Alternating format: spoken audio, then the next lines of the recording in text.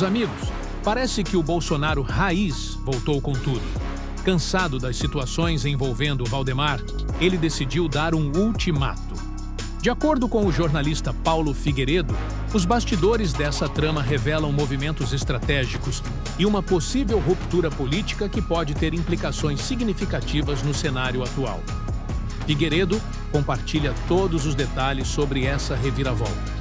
Antes de entrarmos no assunto, quero pedir o seu apoio.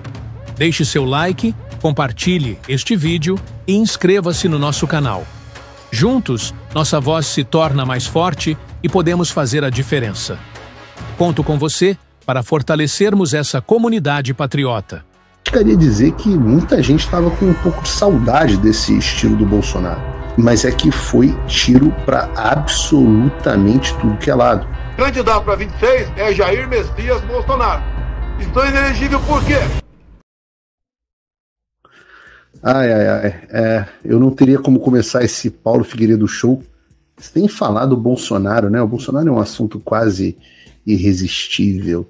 É, e mais especificamente, as falas dele de ontem sobre o próprio partido, sobre o PL.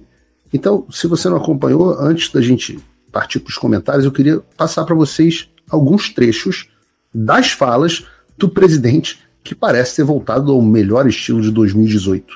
Coloca aí pra gente, Brunão. Acabamos um movimento muito forte aqui. É uma eu mando para vocês as imagens, uma coisa inacreditável, como o povo gosta da gente. E sempre que eu dou uma folga, eu dou uma olhada nos comentários, né, na imprensa, o que, que está acontecendo. Eu vi agora uma entrevista aqui, é difícil, porque eu não posso conversar com o Valdemar, é uma perseguição sem tamanho eu não poder conversar com o presidente do meu partido. E eu vi uma notícia que o PL não vai mexer no Maranhão, apesar dos deputados lá serem corruptos, contumazes, porque não acharíamos bolsonarista lá. A gente vai mexer no Maranhão, é o compromisso que eu fiz com o presidente do partido, em sanear o partido e mostrar que é um partido diferente de, de alguns outros que estão por aí, que nós queremos realmente é um partido do povo possa confiar. Então a declaração de agora há pouco, se é verdadeira, já que eu não posso conversar com o presidente, é sobe no telhado realmente.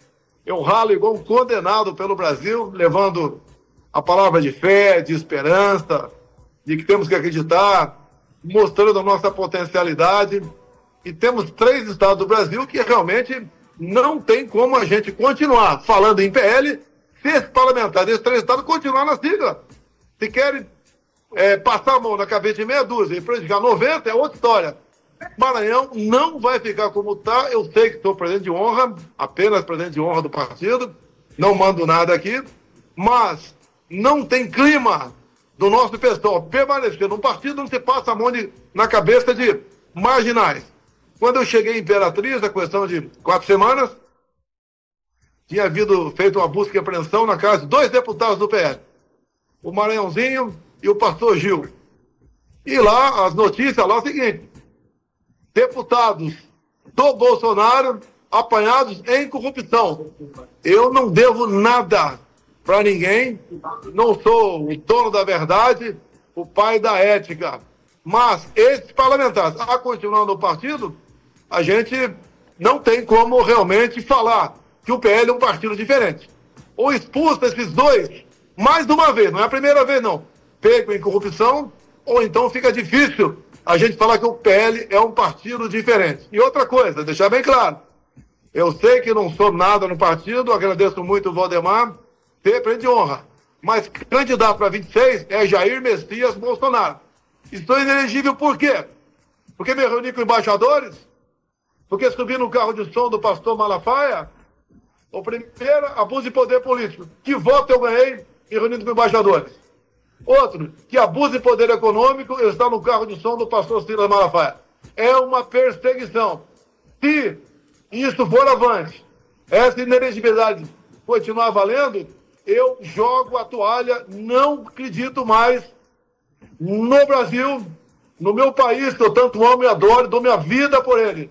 Mas realmente é inacreditável. Se isso continuar valendo, eu só tenho um caminho: cuidar da minha vida. Antes que me matem, ou faça algo pior com a minha vida.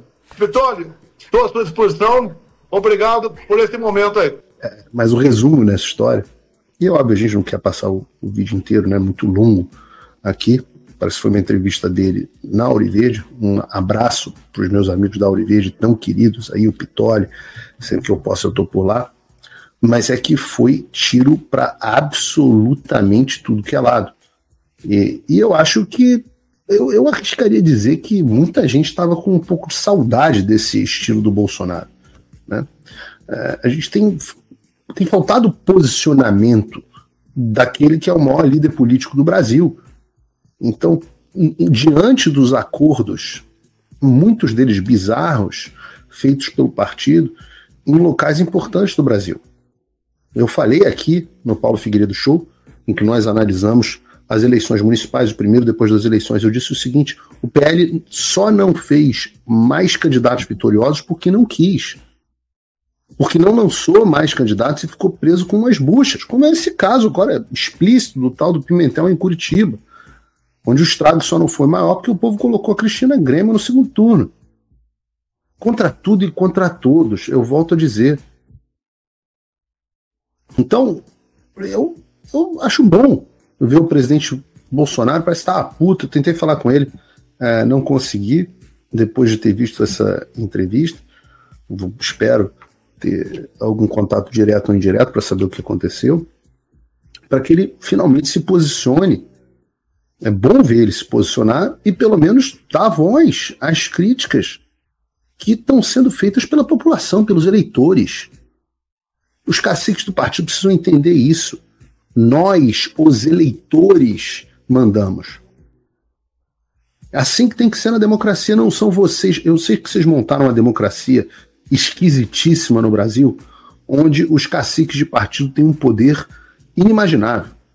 Que nos Estados Unidos não é, não é assim, tem primárias para todas as posições, inclusive para deputado, tem primária para tudo, para prefeito, tem primária para tudo. Para presidente, você está vendo? o escândalo está sendo nesse momento porque não houve tempo da população se manifestar na primária para escolher o candidato do Partido Democrata, que foi acabou sendo escolhida pelo cacique Kamala Harris. Isso nos Estados Unidos é uma aberração, ela está sendo muito cobrada por isso, como foi cobrada num town hall recentemente e até indiretamente agora nessa, nessa entrevista que ela deu na Fox. No Brasil isso é regra. Será que nós queríamos, até mesmo Nunes como candidato em São Paulo? Será que o povo queria isso? Por que, que vocês, caciques, acham que sabem mais do que a população? E tá aí, a resposta foi dada nas urnas. E tem alguns pontos que têm que ser comentados. O primeiro deles é que finalmente o Bolsonaro peitou o Valdemar Costa Neto. Algo que muita gente dizia: ah, não, ele não tem o poder para fazer. Ora, eu, a gente vai discutir isso aqui. Quem é o PL sem Bolsonaro? O partido que saiu do, do um partido pequeno para o maior partido do Brasil por causa de quem? Por causa do Valdemar? E o Bolsonaro afirma categoricamente: vamos mexer no Maranhão porque tem caras lá que são corruptos contumazes. E a justificativa do Valdemar para manter esse pessoal no PL é que não existe bolsonarista no Maranhão, mesmo diante do fato do PL ter se tornado o maior partido do Maranhão justamente depois que o Bolsonaro entrou em cena. E está correto o Bolsonaro. Não tem como manter corrupto e vagabundo no partido enquanto você critica o PT por ter um monte de corrupto e vagabundo no partido deles. Isso é tudo que eles querem.